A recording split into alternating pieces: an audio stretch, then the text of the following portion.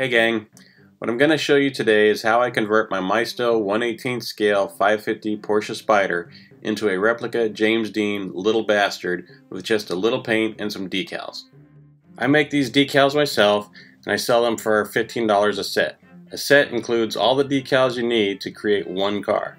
A full sheet of decals costs $90 and has enough decals to make six cars. All decal sets come with an extra Little Bastard decal and an extra Nürburgring badge. I do not sell the Porsche badge and shield replica decals. They come free when you purchase a set.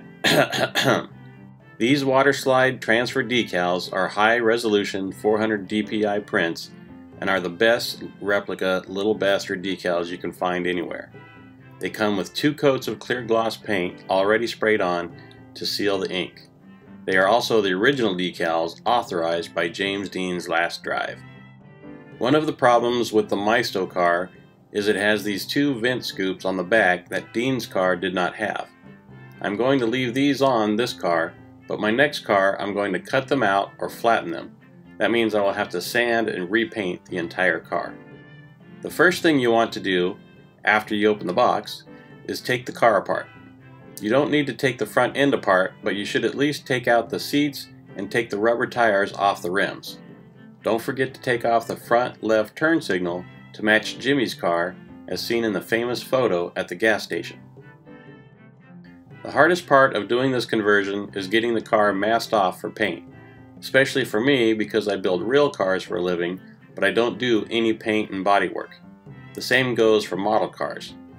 For the interior, I used a flat red model paint with an airbrush. A cheap Harbor Freight airbrush will work fine and will have better results than using a brush with bristles. If you thin the model paint, you can have more control over how much paint goes on and what the final result will be. The flat red looks more like the original fabric and can be sprayed a little at a time to give the seats a worn look or a new look. The inner door panels are tough to get to, but on the plus side, you can clean them up later with an X-Acto knife or a Q-tip and some paint thinner. As I said, I am not a painter. By the way, be careful not to break the steering wheel like I did. Luckily, one of my friends had an extra one for me to use. Another problem on the Maisto is the rear spider license plate. Obviously, this needs to come off, but it leaves a couple square holes in the body. I have used ultra gray silicone from the auto parts store to fill these holes before, but on this car I mixed up some JB Weld. You can mix the two parts together to get a matching gray color to fill the holes and then wipe, scrape, or sand off the excess spooge. While the interior paint and filler dry, you can work on the wheels. You can get more or less detailed building a model, but since the rims can be touched up fairly easy to look more real, I do those also. The secret to filling in the rims to look more real is to thin your paint about 50-50. I also use cheap brushes and just cut the bristles to make a smaller point for tiny areas. You can check out lots of other videos online to get more hints and tricks, but since I don't do this all the time, I am just covering the basics. You only need to dab your brush in the thin paint and touch it to the wheel. The paint will flow into the grooves. Keep a Q-tip and paint thinner close in case you need to clean up some excess. Once your interior is dry, preferably overnight at least, then you need to reverse the masking procedure on your car. If you want to keep your interior flat and looking like cloth, then you need to mask it all off as well as the wheels. I use Rust-Oleum Clear Gloss.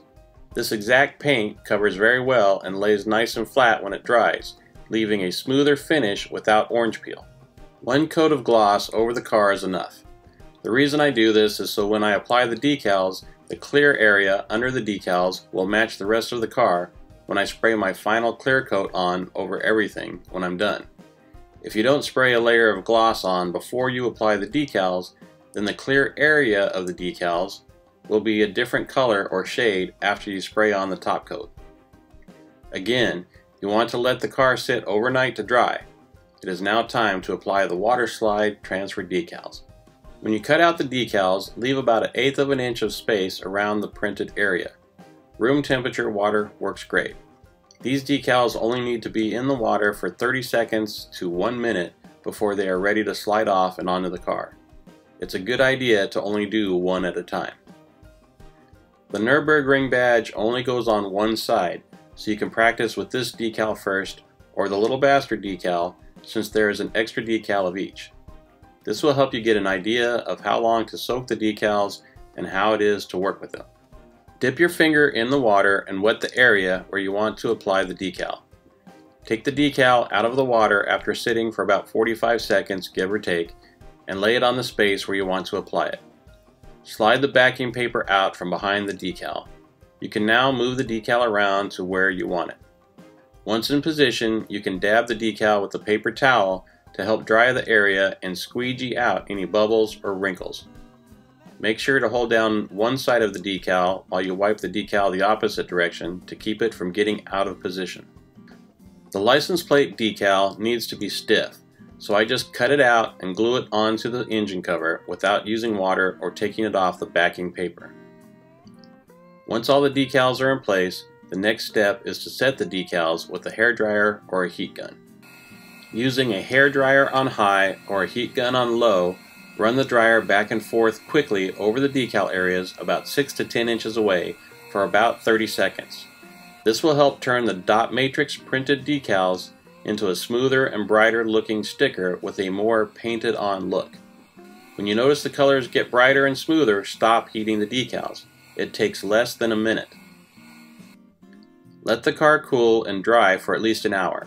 You can now spray a coat of clear gloss over the car to seal the decals and keep them from fading or coming off. It will also smooth out the edges of the decals and give the car a shiny look. Let the car sit overnight again and put the car back together, replacing the seats, tires, and whatever parts you took off. On my car, I painted road lines on the display stand and printed out photos of the intersection where James Dean crashed and put them in the box. You can use any background you want, of course. And remember, you can also use these decals on glasses, phones, laptops, or any place you want to remember James Dean and his infamous little bastard Porsche 550 Spyder. Thanks for watching.